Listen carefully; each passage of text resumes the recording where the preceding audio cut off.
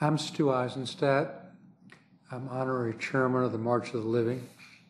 I very much wish I could be with you in person, but appreciate the privilege of addressing you in this way at this very important symposium, which occurs on the 80th anniversary of the adoption of the infamous Nuremberg laws and the 70th anniversary of the famous Nuremberg trials.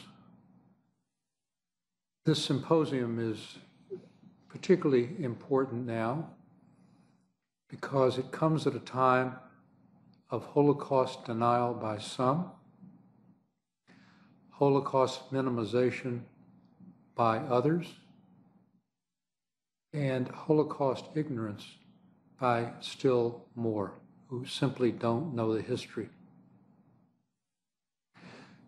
I'm very pleased that my dear friend and inspiration, Elie Wiesel, is the honorary chair of this symposium, that my uh, dear friend, former Canadian Justice Minister Irwin Cotler, and my former Harvard Law School professor and longtime friend Alan Dershowitz are chairs of this symposium.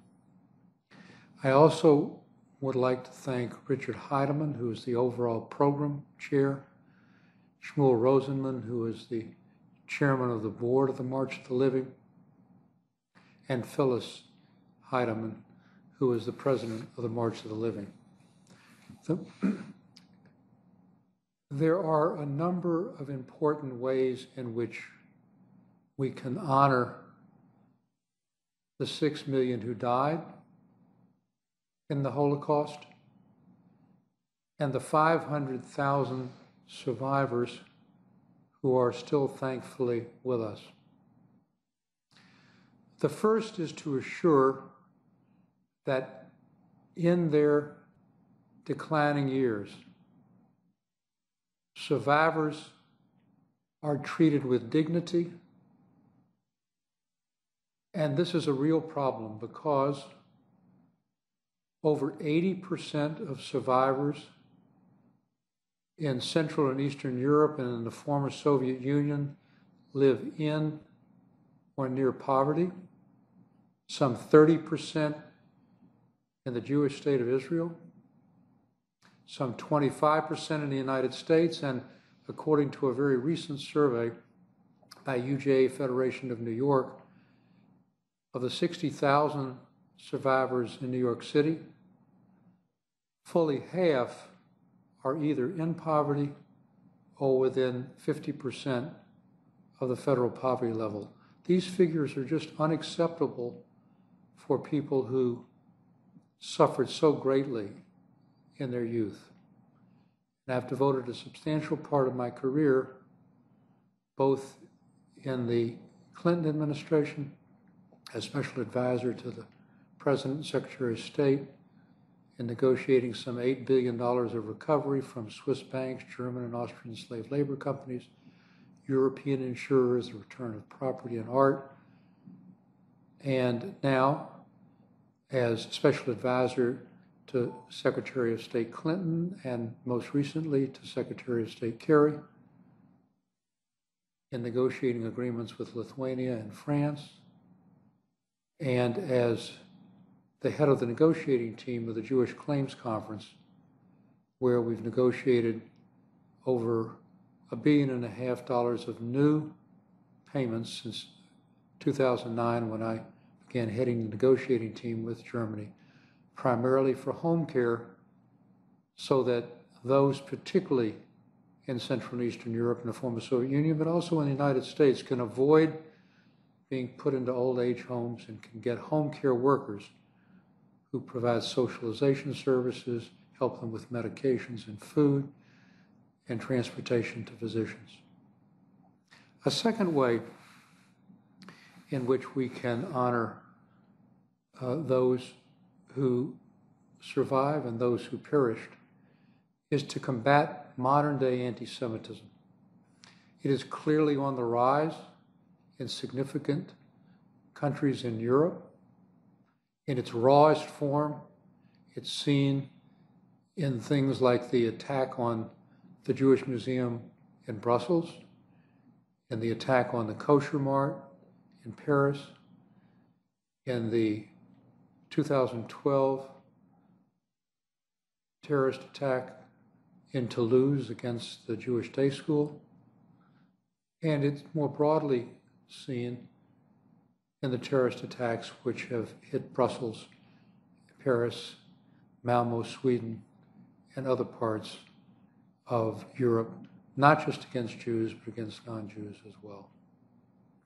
There is a particularly pernicious aspect of this modern day anti Semitism, which we call BDS boycott, divestment, and sanction against companies that do business with Israel, both American and other companies, and have any relationship to the West Bank.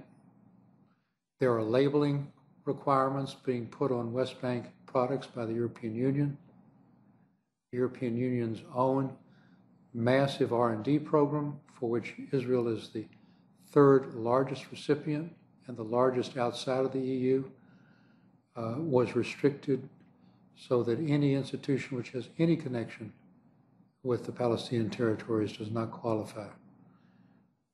The BDS movement is also seen on college campuses in virulent form, and it really is nothing more or less than an effort to delegitimize Israel as the state of the Jewish people. It would be so tragic and ironic that 70 years after the liberation of the death camps, to see this kind of new anti Semitism rear its ugly head. Another way of assuring that we honor the memory of those who died and of those who are still living is to assure that in our own diaspora communities that we fight assimilation and disappearance, a lack of identification at the very time when we have the full opportunity of integrating into our Western societies. Yet again, another way of honoring the memory of those who died and those who survive, and making sure that those who survive know that we're thinking of them, is to strengthen the state of Israel itself against external attacks. We see the knifings that are occurring. We know the potential nuclear threat from Iran. And thankfully, the United States is a key ally of the state of Israel in protecting itself against threats from Hezbollah, from Iran, from Hamas, and from other radicals. But I'd like to suggest to you, and this ties in directly to the seminar that's occurring now, how important this seminar is. And I want to congratulate and underscore the importance of the co sponsorship of Jagiellonian University in Krakow. It is a tremendously important thing to have this great university as a co sponsor of this important symposium with the March of the Living. And I want to congratulate the faculty and the president and others from Jagiellonian University for their sponsorship of this symposium. Now, the March of the Living fulfills what I consider perhaps the penultimate way of honoring the memory of the survivors and those who uh, perished. And that is through memory, through education, through bringing the lessons of the Holocaust to us today. Not only looking back, but looking forward at what lessons it provides.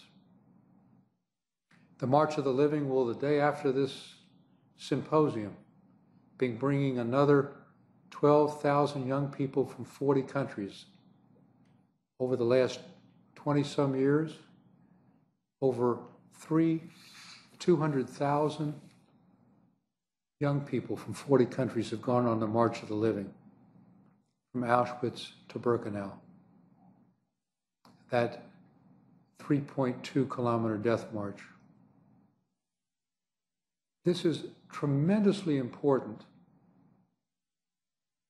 in reinforcing for a younger generation what happened in the Holocaust, why it's important to remember it, embedding it into their collective memories as they're young people so that it stays with them throughout their lives. The March of the Living, I'm proud to say, not only sponsors the march and is sponsoring this symposium, but also provides other conferences, symposia, and forums to teach the world the lessons of the Holocaust.